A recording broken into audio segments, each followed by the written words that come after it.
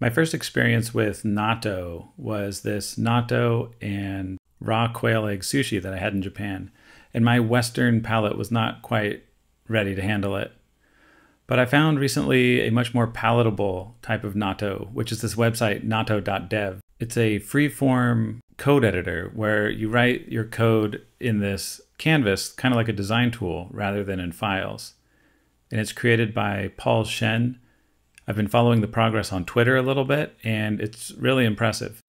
I really like the idea of a free-form code editor, and I think this could be the future of programming. My brain kind of enjoys laying things out spatially like this rather than in files. And I can't quite do all my programming within this tool, but it's useful for certain kinds of things and playing around. And I think it's one of the best attempts at this sort of free-form code editor that I've ever seen. So let me walk you through a short example of how you can use this tool. And I'm going to be leaving out a lot of what it can do. So I encourage you to come check it out, natto.dev. You can look through the examples, try it yourself. There's a lot of cool features packed into this. And I recommend following on Twitter. I'll put all the relevant links in the description. All right, here's how Natto works. The main thing is these eval panes, and you can click and drag to draw one, and then you can like evaluate some code right here. I'm going to make a little thing that takes some text. So I'll use it. There's this option for a text pane, and I'm going to put some URLs in it. Put a few URLs. And then what you can do is you can hook these up to each other. So I'm going to name this um, URL text. You can hook that up to here, and you can see it's like an input URL text. Now if I type URL text, it's a reference to that text value. And what I want to do is split this into an array. So I'm going to say split and I'll split it on new lines. So now I have an array of each line from the text there. And then I'll call this raw URLs. And I'm going to create a new pane from that. So basically raw URLs is the input into another eval pane. And this one I'm going to say raw URLs dot map normalize but I don't have a function called normalize. What I want to do is normalize these URLs using a npm package called normalize URLs. So you can import npm packages here. So you make another pane that's an import pane, and it's called normalize URL. And it's so cool because when you do this, you immediately see everything that's exported by this package. Like if I were to put a different package here, like React, you can see it exports like a bunch of stuff. Or let's try one more like nano ID. You can just take a look at it and you can see what it exports. Makes it really easy to explore these things. Um, so I don't need these. But this one, it just has a default export. And so you can click this default to checkbox to say I just want to use the default one. And I could give this a name and then drag it to where I want to use it. Or you can check global, and then you have to give it a name, so I'll call it normalize.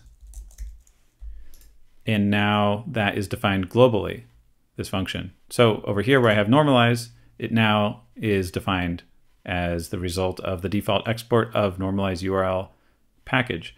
And so you can see what the normalize URL uh, package does. It takes these input URLs that like don't have www on them, or if they do, um, you know, if you put like a trailing slash, for example, it normalizes them, cleans them all up, makes them into nice, pretty URLs. Okay. So let's go from this, which will be, um, I'll just call it URLs, my normalized URLs. And I'm going to make another eval pane.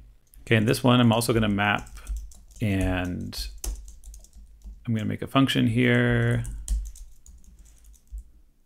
that's going to return a string. So you can see there's all those strings. And what I can do is I can actually put HTML here.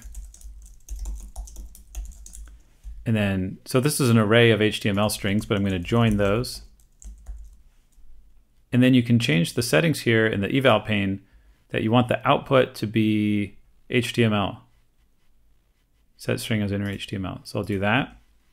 And now you can see that it actually outputs something. Let's say style equals color red. Cool. So this, this is like actual HTML now, so I can make like a view. And what I actually want to do here is So I'm mapping the URLs. So I want a reference to the URL and I'm going to say a href equals URL. And then inside of here, I'm going to say also the URL. And let's say style equals display, I'm to say flex gap 10 pixels. And then I'm going to put a image tag here. And what's this image tag going to be? I'm going to create another eval pane and I'm going to define a function there that will be called get favicon URL and that will take in the URL. Okay, so let's make that pane. I'll call it get favicon URL. And so here I'm going to define a function. Uh, I'll just do it like this. Um, URL. And there's this special Google URL that you can use that looks like this. Actually, let's make this one of these template strings. And then here, I'm going to put the URL. All right, so this is like a special Google provided URL that will return back the favicon for a given URL. So if you put domain equals, and then you put a domain name here, it'll give you back the favicon of that domain. So I'm just making a function that just sticks URL into this URL. Sorry, that's kind of confusing. But I've named this function get favicon URL. I'm going to connect it into here. So now this is actually defined because it's one of the inputs. And now I've got my resulting list of links with the favicons. And it kind of cascades through all these panes. So if I come back here and I say imba.io, news.ycombinator.com, they all show up here. Cool. So that's a very basic example of what you can do in Natto. And I think it's so cool that you can just break apart all these things. There's no files. So whenever you want to create a new thing, you just draw it on the canvas and you can place it wherever you want. You can move all around. You can zoom in and out. And it's fun to be able to see and kind of inspect and modify the flow of things through all these different panes.